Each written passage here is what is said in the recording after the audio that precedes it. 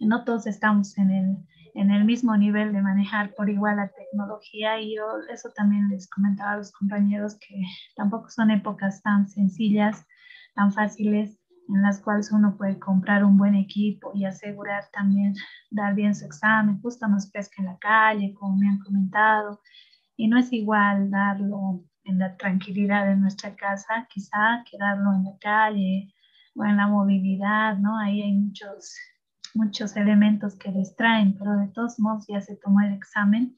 Falta evaluar todavía, compañeros, falta evaluar el tercer parcial, todavía es un examen parcial más que va a valer 20 puntos igual.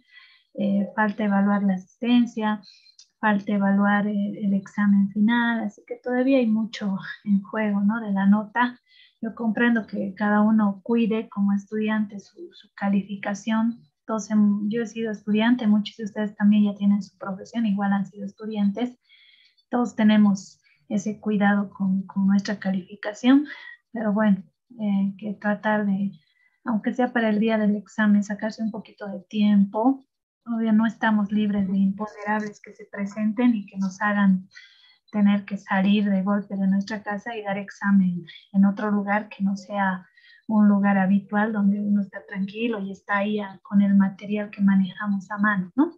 La última clase que hemos pasado, habíamos empezado a avanzar el tema de las personas colectivas jurídicas. Yo les decía, este tema de las personas colectivas o jurídicas tiene dos partes. Estamos viendo la primera parte. La segunda parte no lo vamos a avanzar. Está en el material que yo les envié porque nos va a tomar mucho tiempo y además porque el tema de las sociedades, fundaciones y asociaciones se avanza en, las sociedades en derecho de los contratos, que es Civil 3. Ahí van a avanzar. Igual les voy a dar hoy una referencia de, de un libro que es muy bueno para poder tener modelos de contratos de sociedad, ¿no? Que, que, también les va a servir.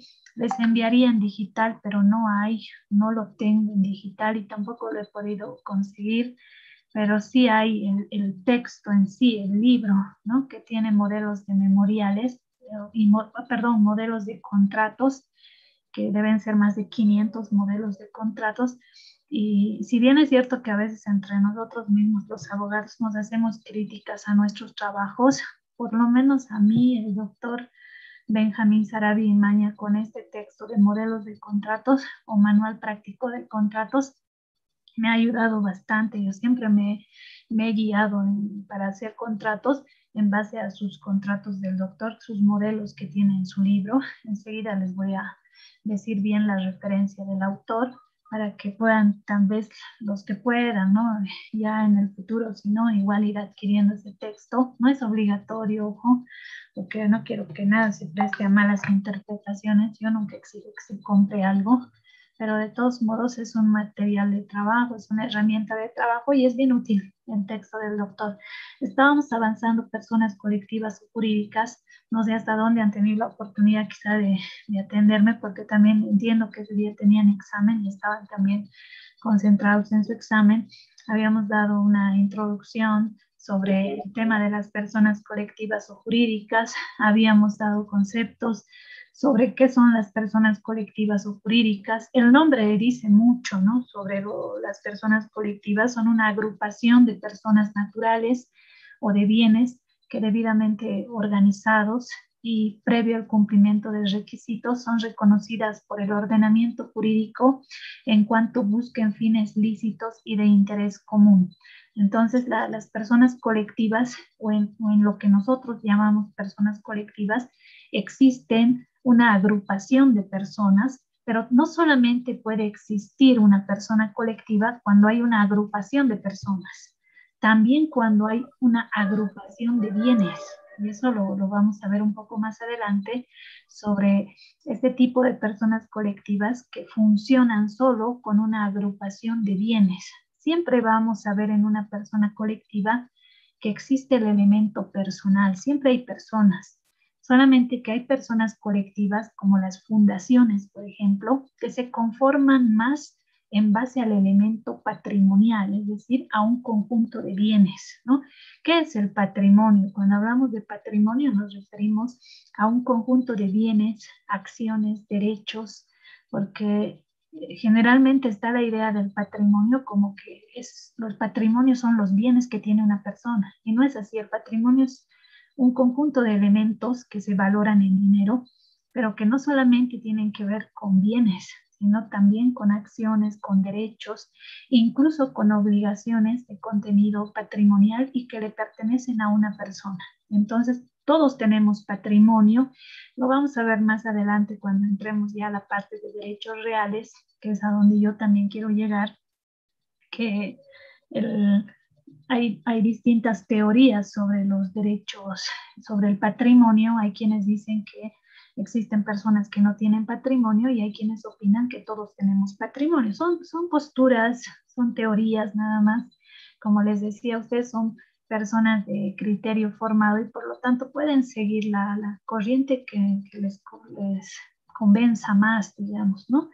Para mí todas las personas tenemos patrimonio, ese es mi, mi criterio pero no solamente nosotros, las personas naturales, tenemos patrimonio, sino también tienen patrimonio las personas llamadas colectivas o jurídicas, que eso también habíamos visto que tienen varias denominaciones, ¿no?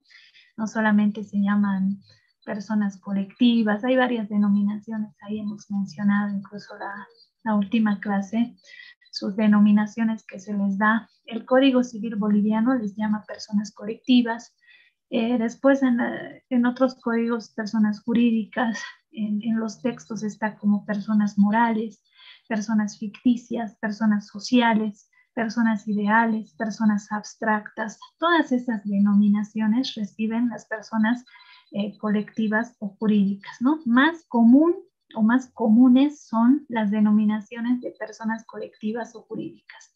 Después, en cuanto a las características que aquí sí habíamos quedado, porque justamente ahí ya también estaba por terminar el tiempo, eh, que en las personas colectivas existe una pluralidad de sujetos que por abstracción pueden ser considerados como una persona.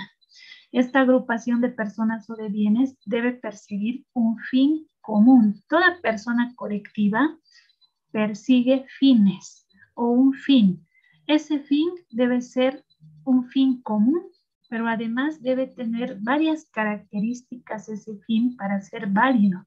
Debe ser un fin posible, debe ser un fin lícito y debe ser un fin determinado. Enseguida nos vamos a referir también a estas características sobre el fin que busca una persona colectiva.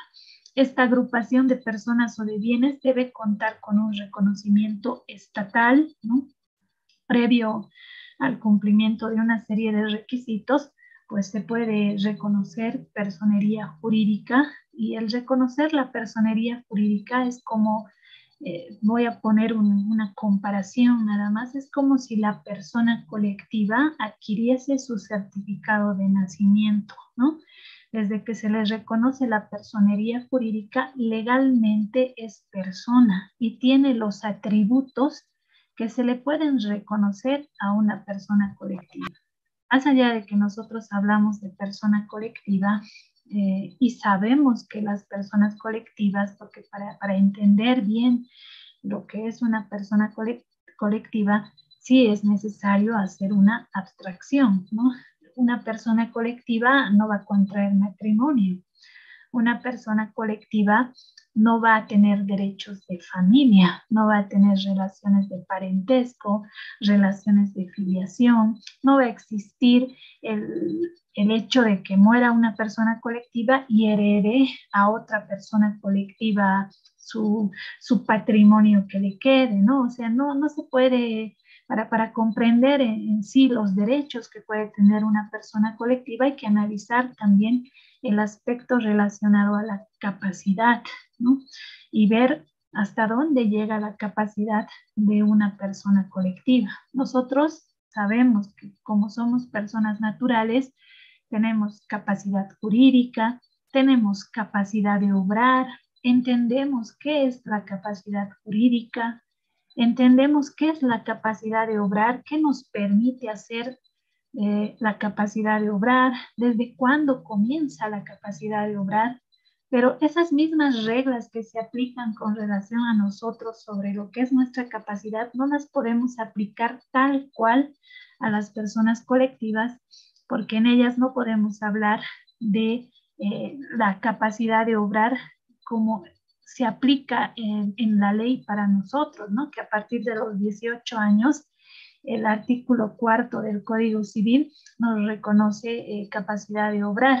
En el caso de las personas colectivas, vamos a ver más adelante cuando veamos los efectos del reconocimiento de la personería jurídica, uno de esos efectos es que tienen capacidad. Pero ¿qué tipo de capacidad tienen? Tienen igual capacidad jurídica, tienen igual capacidad de obrar, desde qué momento, a los cuántos años de haberse creado, ¿no? Igual que nosotros se le puede exigir la regla de los 18 años, eh, tienen capacidad delictual. ¿Se acuerdan que nosotros veíamos la capacidad delictual o capacidad de imputación? En el caso de las personas colectivas, tendrán capacidad delictual. ¿Puede una persona colectiva cometer delitos? A eso me refiero con, con capacidad delictual. Tienen capacidad procesal, ¿no?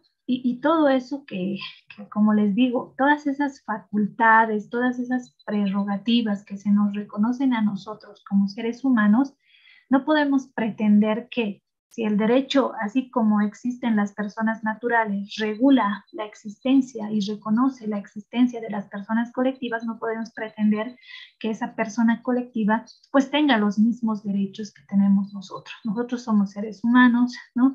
Y por lo tanto tenemos una voluntad que nos permite actuar nosotros mismos, las personas colectivas.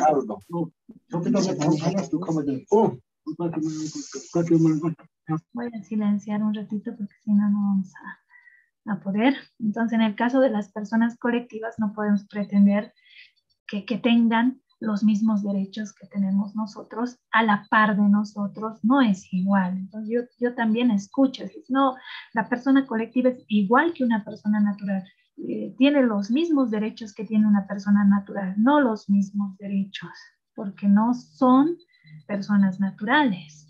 Si, tuviese los mismos derechos, estaríamos ya llegando a un punto eh, de pensar que absolutamente no existe diferencia entre una persona natural y una persona colectiva. Está bien que el derecho les reconoce como personas, pero hay derechos que solo nosotros podemos tener, ¿no? Y las personas colectivas no.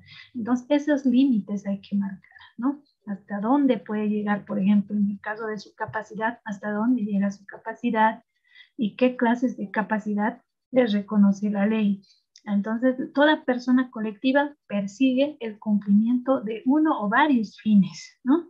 Lo ideal es que estos fines sean fines lícitos, porque igual lo aclarábamos, ¿no? La última clase, si, solamente eh, persona colectiva fuera una agrupación de personas, entonces si, si un grupo de personas se reúnen para delinquir, para secuestrar, robar, etcétera, también serían pues como una persona colectiva, ¿no? Y no es así, son organizaciones criminales porque no pueden tener la calidad de personas colectivas porque el fin que persiguen es delinquir. Entonces, ese fin no está reconocido por el ordenamiento jurídico como para concederle personería jurídica a una organización de ese tipo. Entonces, eh, siempre van a funcionar, más que no van a existir, existen, ¿no?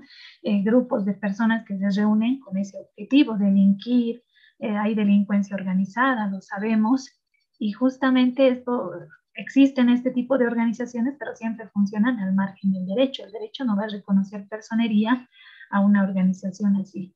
Esta agrupación de personas o de bienes debe contar con reconocimiento estatal, debe existir un patrimonio o medios para que el fin se pueda alcanzar. ¿Cómo se va a alcanzar el objetivo, el fin que persiga una persona colectiva si no es a través de elemento patrimonial? Tiene que haber patrimonio que permita cumplir los fines que persiga esa persona eh, colectiva. Nosotros decíamos en la última clase, ¿por qué existen las personas colectivas? ¿Cuál es la razón de existir de una persona colectiva y decíamos, hay fines, hay propósitos, a veces la gente tiene sueños, no todas las personas son, son iguales, digo más bien eh, que hay gente que es más generosa que, que, nosotros, yo me voy a poner, ¿no? Que, que, yo, digamos, o quizá muchos también puedan reconocer esto, hay gente que, que es más generosa que yo o cualquiera quizá de nosotros que, que busca hacer el bien, así como hay gente que,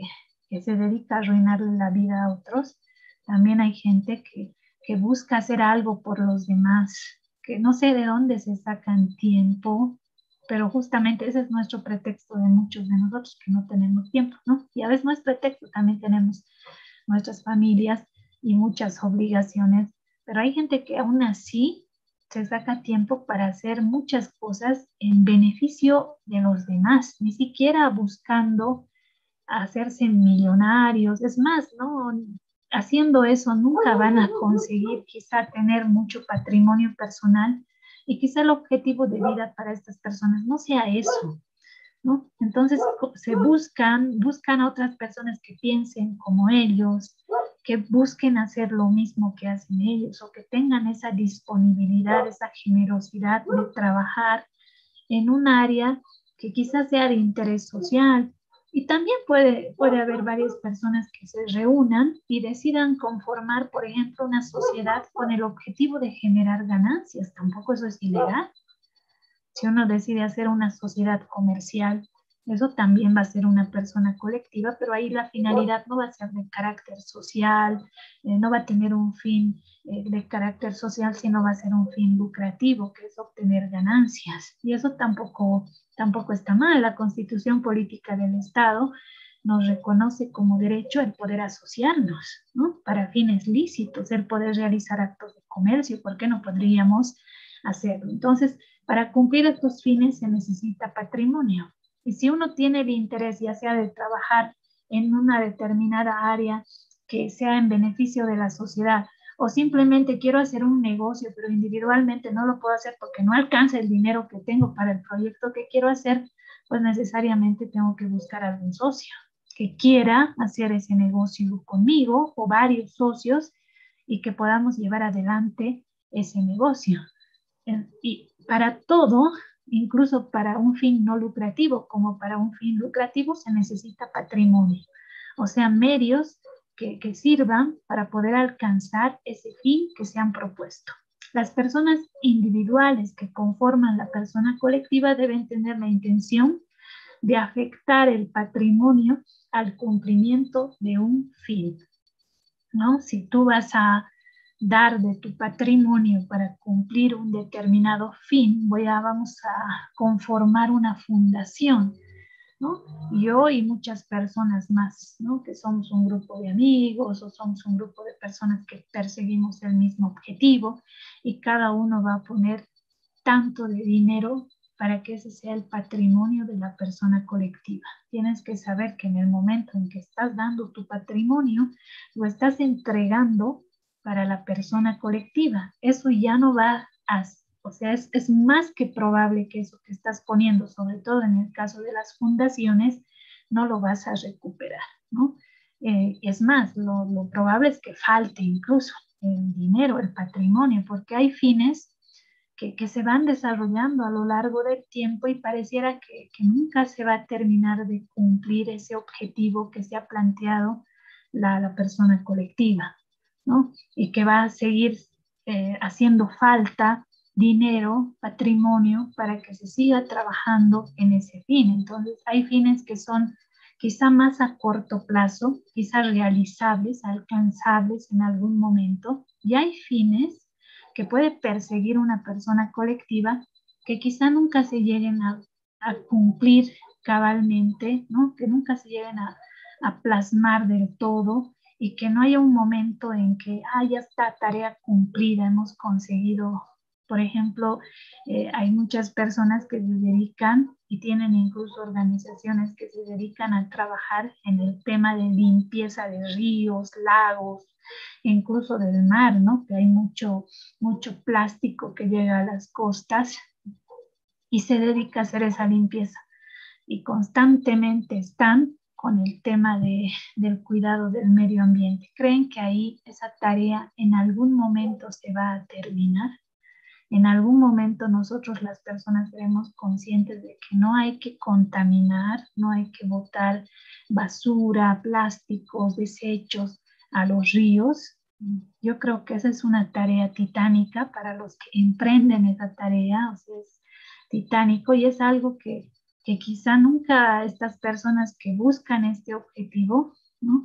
nunca van a ver eh, concretado totalmente el fin, porque ahí no solamente la tarea seguramente consistirá en, son, vamos a ir ¿no? como una brigada y nos vamos a ir hasta, hasta donde esté, no sé, elegir un, un destino y vamos y hacemos la limpieza, limpiamos pero eso no es lo, único, me parece que también hay que educar a las personas, porque si nosotros no nos educamos, vamos a seguir haciendo lo mismo siempre.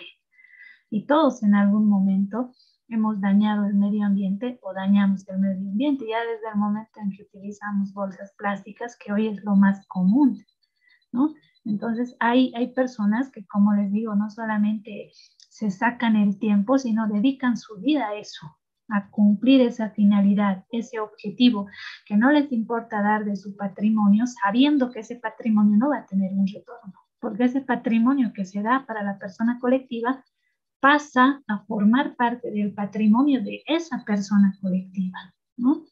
Y en el caso de las sociedades, los socios saben cuánto es su aporte, porque la sociedad es una persona colectiva que persigue fines lucrativos. Entonces ahí los socios saben cuánto es su aporte y pueden llegar a, recuperarlo según las normas del Código Civil. Pero en el caso de las fundaciones, ese patrimonio se destina al cumplimiento del fin. Y a veces ocurre que ese patrimonio también se va gastando, se va gastando, se va gastando y pareciera que el fin que se ha fijado esa fundación, que son personas colectivas las fundaciones, que buscan fines de interés social pareciera que nunca se va a alcanzar o nunca se va a concretar del todo. El fin que busque la persona colectiva, por eso decíamos, debe tener las características de ser un fin lícito, posible y determinado. Enseguida también lo vamos a ver. ¿Cuáles son las condiciones de existencia de las personas colectivas? Eh, básicamente tres condiciones deben darse para la existencia de las personas colectivas que son, en primer lugar, toda persona colectiva está conformada por elementos real y personal. Esa es la primera condición para la existencia de una persona colectiva. Elemento real nos referimos al patrimonio de la persona colectiva, ¿no? Debe, toda persona colectiva tiene patrimonio. Este patrimonio, como les digo, puede estar dado en bienes inmuebles, bienes muebles, ¿no? puede estar dado en acciones, puede estar dado en derechos, incluso puede estar dado en obligaciones, porque una persona colectiva, al igual que nos pasa a nosotros, las personas naturales, también asume obligaciones. Una persona colectiva firma contratos como los firmamos nosotros, ¿no? Solo hay algunas limitaciones, pero en materia comercial prácticamente puede hacer lo mismo que hacemos nosotros. Entonces, toda persona colectiva tiene patrimonio. Ese patrimonio lo dan, por ejemplo, en el caso de las fundaciones, la fundación es un tipo de persona colectiva que funciona más con elemento patrimonial y menos con elemento personal. O sea, en la fundación lo que se necesita es patrimonio. Entonces, generalmente cuando ustedes van a ver una fundación, generalmente esa fundación se ha creado a raíz de que una persona que tenía dinero ha decidido dar todo su patrimonio para que este patrimonio conforme una fundación. Entonces puede conformarse una fundación con un solo fundador, pero también puede haber una fundación que se conforme con varias personas que se reúnan con el objetivo de dar patrimonio para conformar una fundación. Entonces, la fundación es, es una persona colectiva muy especial porque las fundaciones siempre buscan cumplir fines de interés social, siempre. No hay fundaciones que se van a dedicar a actividades lucrativas. Esto no significa que una fundación pueda organizar, que les digo, una kermés, por ejemplo, para reunir fondos. Puede ser que una fundación realice alguna actividad que pueda considerarse lucrativa, es decir, está generando alguna ganancia, pero esa actividad siempre va a estar destinada a eh, hacer crecer el patrimonio de la fundación para que este patrimonio siga cumpliendo un fin de carácter social. En el caso de las fundaciones, trabajan en varios ámbitos. Puede ser en el ámbito deportivo, puede ser en el ámbito literario, como ocurre, como les mencionaba, la última clase que hemos pasado con la Fundación Simón y Patiño, que trabaja en el ámbito literario y de la cultura. Puede ser también una fundación que se dedique al análisis, ¿qué les digo? De la, o a, promover la equidad de género. Puede haber una, una fundación que busque, no sé, eh, incentivar, ¿no? El, el, hecho de que las personas puedan crear un negocio propio, capacitar, en el caso de las fundaciones hay muchas, son muy interesantes también, trabajan en distintos rubros o darle acogida a niños que están en situación de calle o quizás rehabilitar a algún tipo de población vulnerable, eh, dependiendo, ¿no? Trabajar en el ámbito de quizá eh, con algún tipo de de ayuda a algunos animales, así en nuestro país también puede, puede darse. Hay necesidades en todo ámbito, de ahí que alguien dice que, la, que las personas colectivas a veces vienen a suplir la falta del Estado, porque el Estado a veces no llega a atender todas las necesidades que puede tener la población, entonces lo que hacen las, algunas personas colectivas es suplir la ausencia del Estado y actúan ¿no? Donde el Estado no llega. Y, efectivamente, muchos me van a dar la razón, es así. A veces el Estado, el Estado también es una persona colectiva, pero no siempre puede estar presente en todo lo, que la gente requiere, ¿no? en todas las necesidades que requiere la población. Y por eso es que ahí eh, vienen las personas colectivas a las cuales el derecho también les reconoce la calidad de personas justamente cumpliendo muchas de ellas fines de carácter social que hacen que se pueda suplir la falta del Estado. Y, el, el, elemento real, el patrimonio, es muy importante en una persona colectiva. Si les ponía el ejemplo de la fundación, puede ser que haya un fundador o una fundadora, que sea una persona que tenga mucho patrimonio. No sé si alguna vez escucharon hablar de la señora Rosa Gramont, ¿no? Rosa Gramont, viuda de Cusicanqui, creo que es la señora, que, que, era una señora que vivió gran parte de su vida en Francia y luego aquí en Bolivia. En realidad es boliviana la señora. Y resulta que cuando la señora fallece, se, tenía tantas propiedades, la señora, tantas propiedades, creo que son 27 bienes inmuebles en la ciudad de La Paz, otros eh, terrenos en la ciudad del Alto, es más, ha sido ella la que ha donado el terrenos en la ciudad del Alto para que se construya, bueno, tenían una finalidad específica y al final han terminado construyendo la cárcel de Chonchocoro. No sé si la señora hubiera estado de acuerdo con eso, pero hemos hecho eso y él tenía tanto dinero, no sé, el, patrimonio que tenía, que esa sucesión de sus bienes, muere la señora y empieza un problema por la sucesión de su, por la herencia, digamos, ¿no?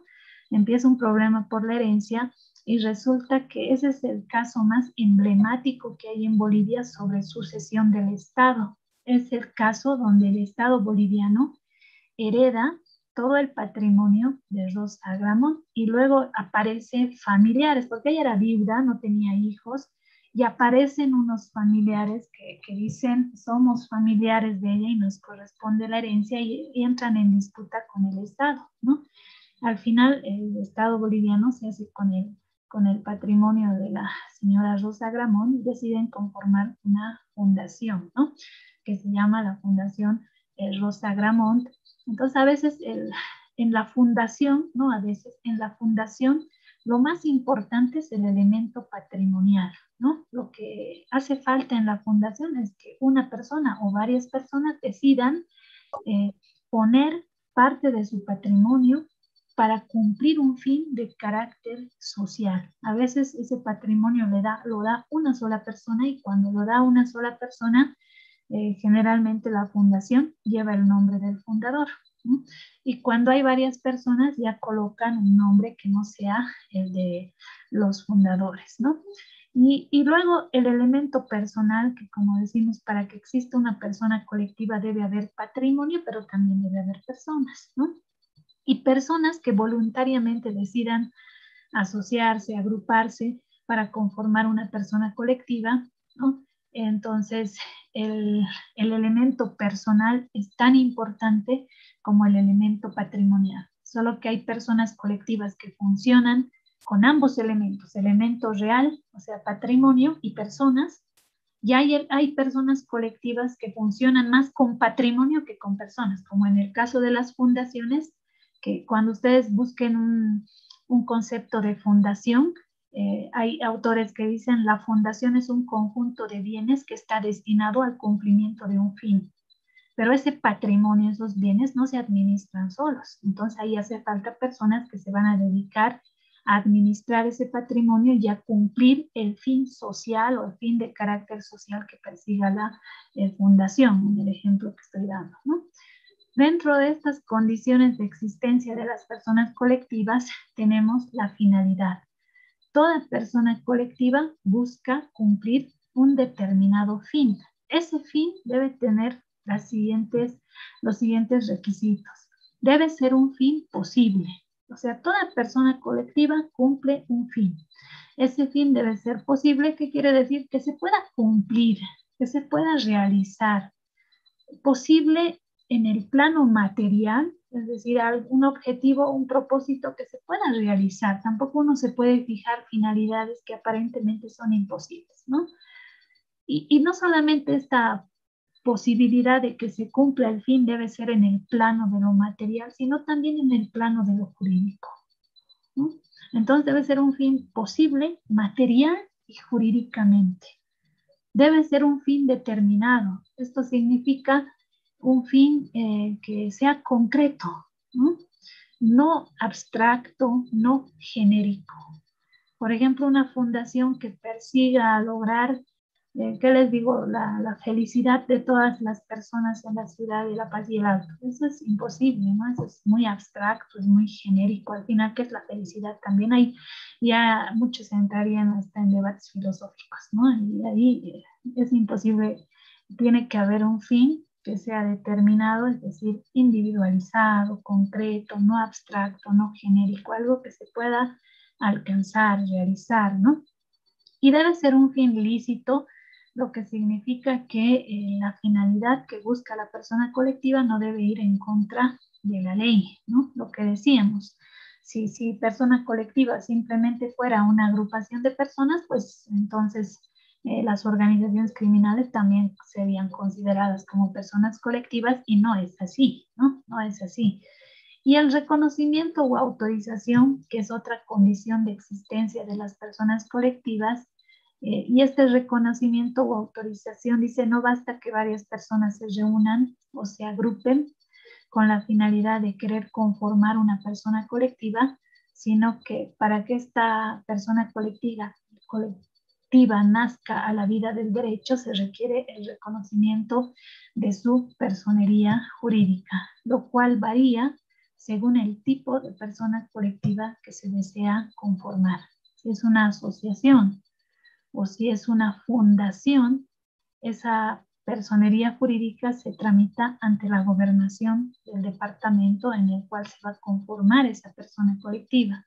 Si ustedes entran a la página de la gobernación del departamento, van a encontrar ahí la guía de trámites. En la guía de trámites, los requisitos que se deben cumplir para obtener el reconocimiento de la personería jurídica en el caso de fundaciones y asociaciones, que son ambas personas colectivas eh, sin fines de lucro, personas colectivas que buscan cumplir fines de carácter social no lucrativo. En el caso de las sociedades, las sociedades son personas colectivas de derecho privado que, eh, en, en las cuales los socios buscan generar ganancias, es decir, se dedican a actividades que son lucrativas. Y en el caso de las sociedades, como los socios buscan obtener ganancias, hay dos clases de sociedades, las llamadas sociedades civiles, que están reguladas en nuestro Código Civil en la parte de contratos, por eso es que la sociedad es un contrato, y las sociedades comerciales que están reguladas en el Código de Comercio. Y eso ustedes lo van a avanzar en derecho comercial. Lamentablemente, derecho comercial lleva en quinto año, ¿no? Así que ahí recién van a ver las sociedades comerciales y las distintas clases de eh, sociedades comerciales. En nuestra carrera se lleva derecho comercial, como les acabo de decir, en quinto año. Y ahí tenemos, si, si comparamos con la currícula, no de la UNSA, de la Universidad Católica, por ejemplo, ¿no? En la Universidad Católica creo que llevan dos o tres años derecho comercial. Entonces, son muy buenos en derecho comercial porque llevan muchos años y además porque llevan con tanto detalle el derecho comercial que tienen muy buenos abogados en esa área. Y nosotros llevamos solamente una gestión pasa muy rápido el tiempo, generalmente no se alcanza a avanzar lo que se debe avanzar y ahí empiezan ya luego los problemas cuando uno sale siente que no, no aprendió mucho en esta área, ¿no? Entonces es, es algo que quizá tenemos que copiar a otras universidades, sería muy bueno que, podamos llevarlo también así, aunque eso también supondría aumentar materias y no creo que los compañeros quieran, ¿no? Entonces eso también es otro problema, pero hace falta, yo lo he visto, que los, los abogados de la católica son buenos en derecho comercial, por eso son asesores de empresas, porque realmente hacen, hacen un buen trabajo en esa materia, buen trabajo, llevan muchos años de derecho comercial y es muy bueno porque porque sirve para poder trabajar asesorando empresas, te ayuda bastante ya a ubicarte bien sobre lo que tienes que hacer. Vamos a hablar sobre la naturaleza jurídica de las personas colectivas y este tema de la naturaleza jurídica ha dado lugar a que surjan una infinidad de teorías. Yo he copiado las teorías.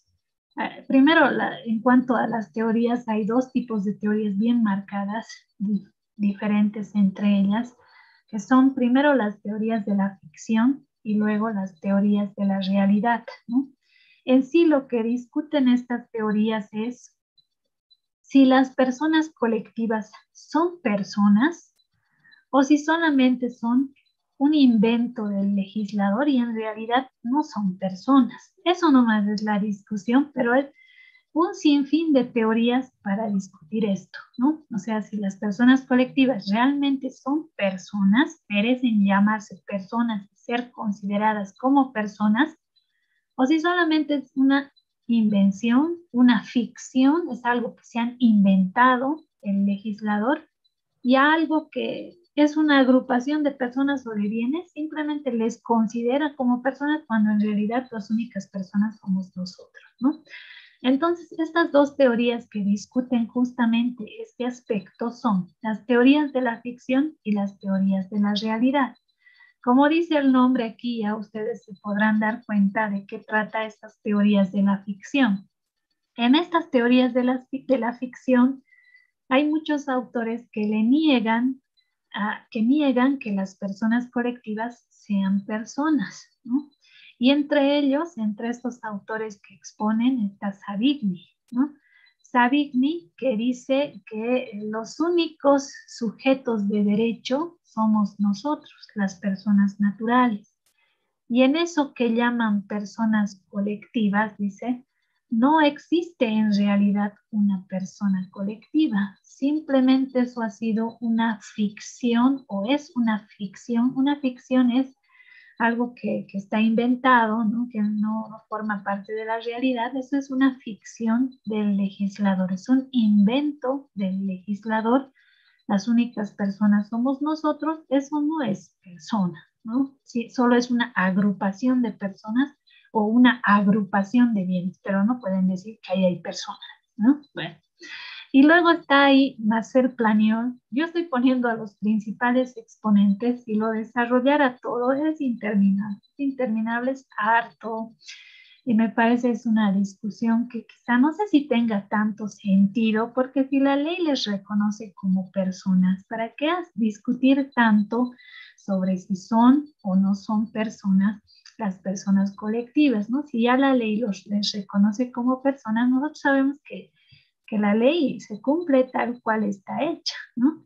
Pero ellos insisten en estas teorías y ahí tenemos también a Marcel Planiol que dice que tenemos que acabar con la ficción de pensar que se está en presencia de una persona distinta de las personas naturales y dice aquello que ustedes llaman persona colectiva solamente es una agrupación de bienes, ¿no? Es una masa de bienes que están agrupados bajo la figura de la copropiedad o sea, una propiedad colectiva de bienes, es que Marcel Planiol dice, si por ejemplo vamos a hacer una fundación y cada uno de los fundadores va a poner cierto monto de dinero para conformar la fundación, pues ahí lo único que entre ellos son copropietarios de esos bienes, son dueños de esos bienes, nada más, o existe una propiedad colectiva de bienes, ahí no hay persona, en vano están hablando que eso es una persona, eso no es persona, eso es una especie de copropiedad o una propiedad colectiva de bienes, ¿no? Y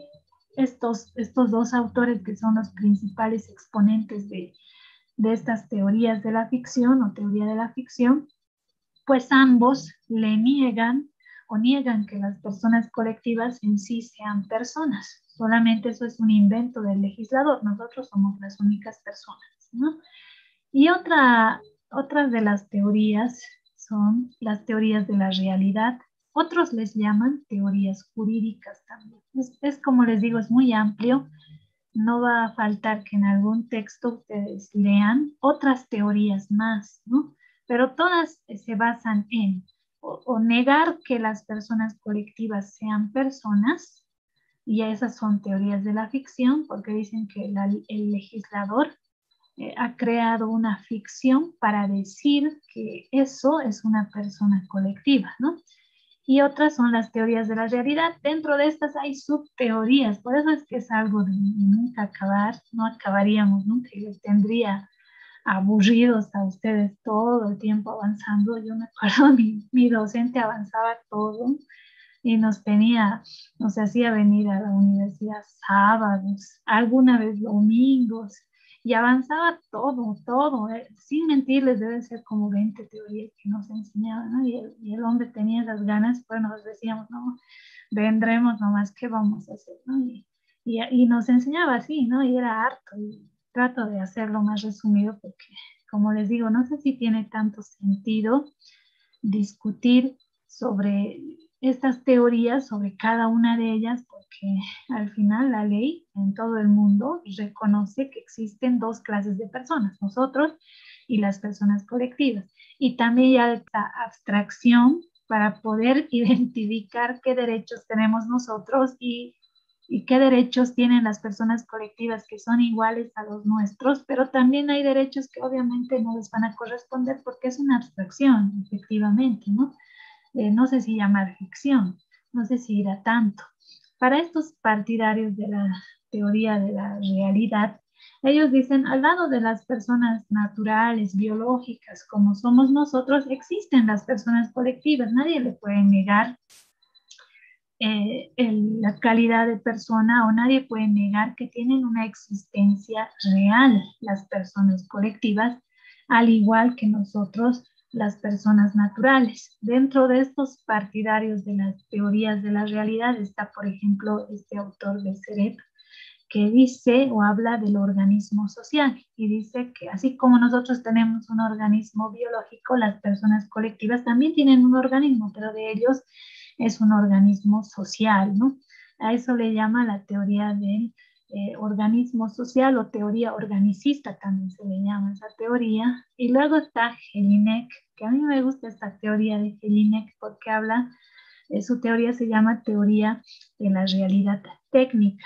Y él dice que nosotros vivimos en una sociedad organizada en la cual no se puede negar que existen, aparte de nosotros, personas que son las personas colectivas o jurídicas. Porque negarle, negar que es persona el Estado significa, ¿no es cierto?, no querer ver una realidad. El Estado existe, nosotros formamos parte de él, ¿no? Y, y no le puedes negar la, calidad de persona a algo que, efectivamente no será, no tendrá un organismo biológico como nosotros, pero de todos modos existe, Y es una realidad. Es también lo mismo eh, pasa con la universidad. La universidad es una persona colectiva o jurídica, ¿no? Si, si diríamos, ah, es un invento del legislador, en realidad nosotros nomás somos personas. Entonces, ¿qué son las universidades? ¿no? Existen, nos extienden incluso nuestro título, la universidad tiene un nombre, tiene una fecha de nacimiento, tiene una misión, tiene una visión, ¿no? Y, y, justamente se ha conformado con una finalidad y con un propósito y luego sobre eso tiene varios objetivos más que los va cumpliendo desde que se ha creado la universidad. Entonces, eh, eh, Jelinek también me gusta esta teoría que él llama teoría de la realidad técnica porque dice, no podemos negar lo que es obvio, lo que es evidente. Existen otro tipo de personas diferentes de nosotros, no vamos a, pretender que sean iguales que nosotros, es, es, una abstracción, tenemos que comprender esa abstracción para poder reconocer que, estamos rodeados de personas colectivas, ¿no? Y que eso es una realidad y no es una realidad simplemente porque lo vemos o porque formamos parte de alguna de esas instituciones, sino es una realidad necesaria, ¿no? Sin universidad, ¿cómo funcionaría una sociedad? ¿O cómo funcionaría una sociedad sin por ejemplo, el municipio, sin la gobernación, sin el mismo Estado. ¿Cómo, cómo entendemos el funcionamiento de la sociedad? Y, lógicamente ahí surgen también detractores que dicen, hay gente que vive en la selva y no necesita del Estado, solamente vive de lo que la naturaleza le provee. Pero la mayoría no vivimos en la selva, ¿no? También eso es cierto. Nosotros vivimos en una sociedad en la cual hay cientos de necesidades y esas necesidades deben ser cubiertas de, alguna manera y como les digo, el Estado no llega a todo, no llega a, cumplir eh, todos los fines que, que, quizá debería cumplir y a veces las personas colectivas están cumpliendo fines que, cumple o que debería cumplir el Estado. Y no siempre, a veces también hablamos de, de personas colectivas, a veces también ahora, por lo menos con esto de las redes sociales, a mí me llama mucho la atención de que hay muchos jóvenes, que la mayoría son jóvenes que están en, las redes sociales, no digo todos, pero la mayoría.